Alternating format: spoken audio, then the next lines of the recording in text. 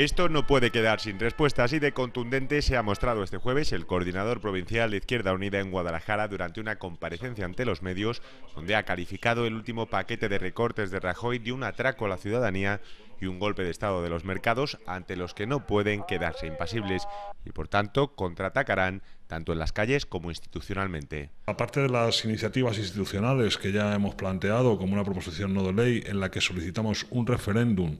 para ratificar estas medidas que ha tomado el gobierno del Partido Popular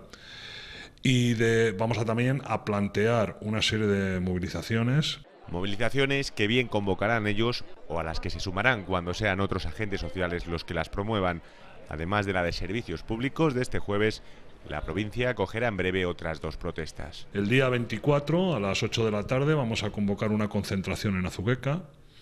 y el día 26 vamos a presentar en Guadalajara la campaña de recogida de firmas para que vamos a iniciar entre los ciudadanos para solicitar el referéndum al que nos hemos referido antes. Maximiliano se ha referido además a una movilización convocada por su partido a nivel estatal, a la que ha animado a participar a toda la ciudadanía de Guadalajara. La cita es este viernes frente al Palacio de la Moncloa, coincidiendo con la celebración del Consejo de Ministros.